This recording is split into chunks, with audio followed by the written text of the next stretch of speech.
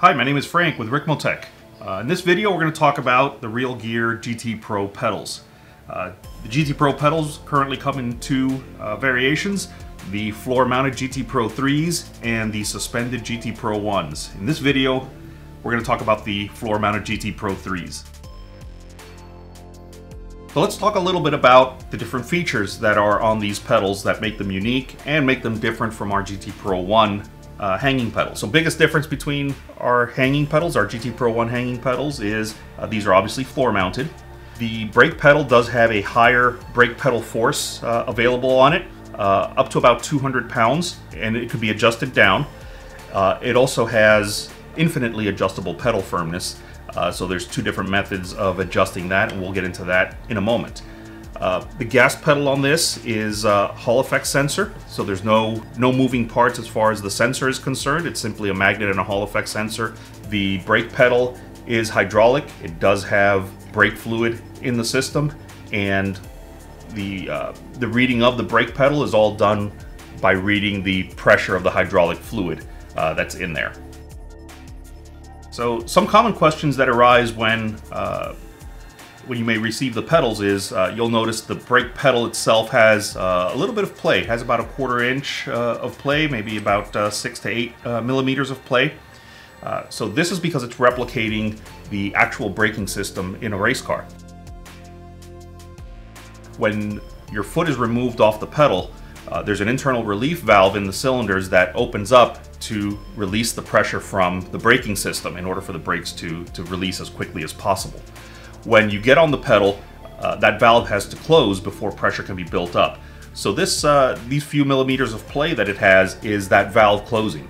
And so nothing really happens as far as braking until that valve is fully closed. Uh, beyond that point, braking is registered by pressure. You'll notice when you get the pedals that the brake pedal is very stiff. After the first few millimeters, uh, it's very, very hard to press the pedal. Um, in order to get the proper pedal feel, you will have to mount the pedals, be in a seated position, and press the pedals with your foot. These brakes do require a lot of leg to uh, press on the pedal, just like it would in a real race car. Uh, that could be adjusted uh, via some bushings that I'll get into in a moment. Um, and the, uh, the maximum brake force can also be adjusted electronically via the control box. So these are the pedals as they come. Here they're shown fully assembled but when you receive them and you get them out of the box, uh, you'll have to do a few things to get them ready. First step would be to mount the slave cylinder. It comes loose in the box for shipping purposes, uh, but it's uh, simply removing the, the pre-attached screw and then securing it to the mounting plate that's provided with the pedals. Next thing that has to be done is the pedal faces need to be put on the pedals. Pedal faces can be uh, mounted at one of four different heights. Uh, you'll notice that there's four holes on the front, so two possible positions for the screws, but these holes are not centered on the face of the pedal, so you can rotate the pedal around, turn it upside down, and have an additional two different heights. So that provides the four different mounting heights for the pedal faces. Pedal faces also have three horizontal positions that they can be mounted to, uh, and so that gives you flexibility as far as the spacing of the pedals. And the pedals also include the traction faces that can be applied to the, uh, the front of the pedal pads. Uh, so they'll ship separately. You can put them on if you like. Uh, next thing you want to do when you're setting up the pedals is you want to cut the zip tie that secures the pedal, the brake pedal down. Uh, this is done to prevent air from getting into the hydraulic circuit. Lastly, you'll have to open the two fluid reservoirs and remove the rubber plunger or plastic stopper that's in there. Uh, that's also there to prevent fluid from spilling uh, out the vent holes during transit. Uh, you want to be careful if you're going to be turning the pedals upside down or leaning them on their side, you want to leave those in there uh, until you're finished with that. But once the pedals are mounted and they're right side up, uh, you can go ahead and remove those. The pedals can then be mounted using the four mounting points that are at the bottom of the pedal frame. Those holes will accept 5 16 bolts or M8 bolts, uh, and you'll have to provide the length that's suitable to uh, whatever rig you're mounting it to. However, you can optionally purchase from us the aluminum pedal base. And this base will provide a heel area, it'll also provide threaded holes, and we will provide the correct bolts to mount the pedals uh, to the plate the way you see it here. The plate has four mounting points that will, will mount to the Logitech pedal mounting locations. So if you do have a standard industry standard rig that has mounting points for Logitech pedals, this plate will bolt directly to that. When you're ready to start using the pedals, the three individual pedal cables will connect to the back of the control box using the matching colors. Then the USB cable can be plugged into the PC. Nothing else is really needed if you're going to use the pedals the way they come out of the box. They've already been calibrated for testing on our test bench, so you're ready to use them by just plugging them in.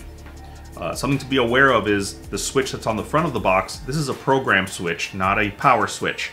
So it's important, uh, don't start flipping this switch if you don't know what you're doing because you can inadvertently put it into program mode and then start changing settings. Let's talk about the adjustments on the pedals. We'll start with the gas pedal. The gas pedal has two set screws and lock nuts on them to retain that position uh, to adjust the initial and the ending position of the gas pedal. So that can be adjusted within a reasonable range uh, to give you a shorter throw or a longer throw. Once that's done, the pedal will have to be recalibrated to the control box so that the control box uh, is aware of the new range of motion.